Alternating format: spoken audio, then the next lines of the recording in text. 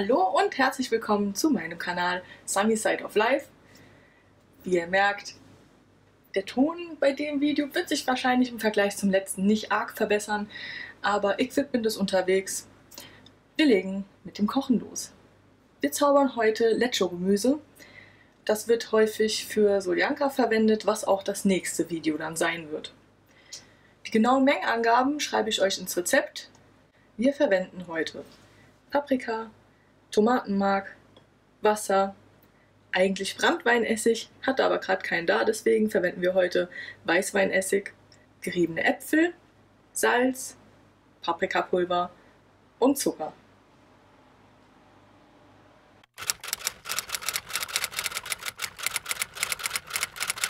Wir beginnen damit, dass wir das Öl in einem großen Topf erhitzen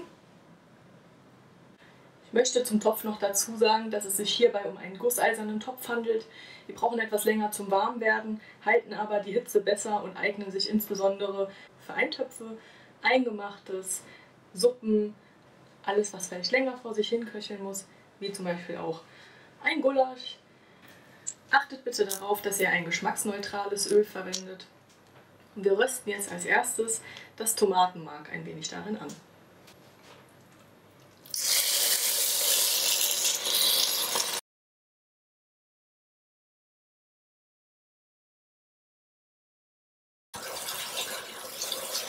Wenn das Tomatenmark dann etwas angerüstet ist, geben wir das Wasser sowie den Essig hinzu.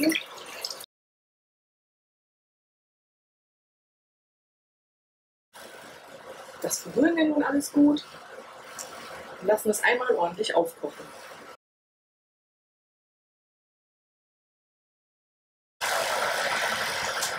Wenn das Ganze einmal aufgekocht ist, reduzieren wir die Herdplatte etwa auf mittlere Hitze und fügen die Paprika hinzu.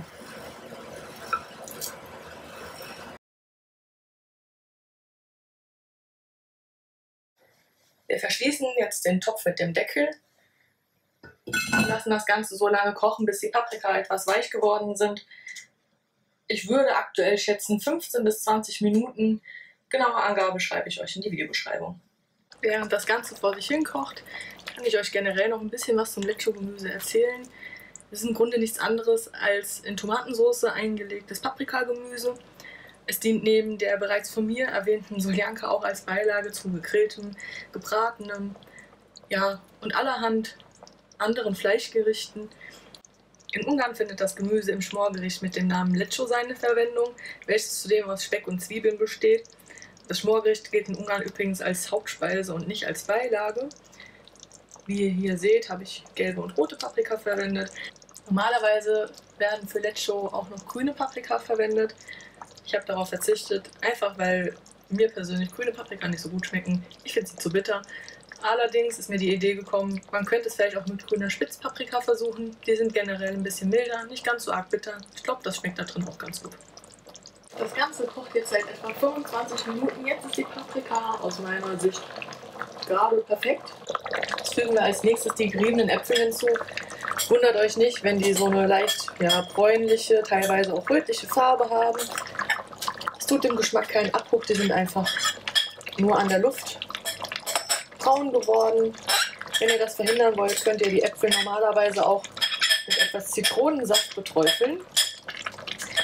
Das würde ich nur hier in dem Fall nicht empfehlen, da sie sowieso schon relativ sauer sind und das Gericht an sich eben auch sauer ist. Das Ganze lassen wir jetzt nochmal für etwa 5 Minuten zugedeckt aufkochen bzw. köcheln und dann machen wir weiter.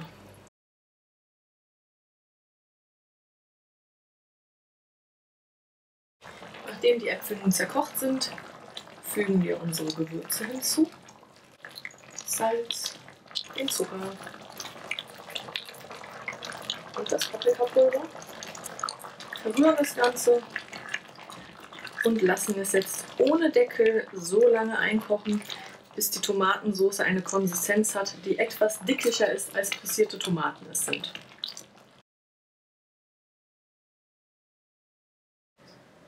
Wie gut zu sehen ist, ist die Soße jetzt etwas eingedickt. Und damit sind wir auch am Ende des Videos angekommen. Ich hoffe, es hat euch gefallen. lasst gerne ein Like da, abonniert den Kanal und aktiviert die Glocke, um alles mitzubekommen, was neu reinkommt. Und lasst es euch schmecken. Bis zum nächsten Mal.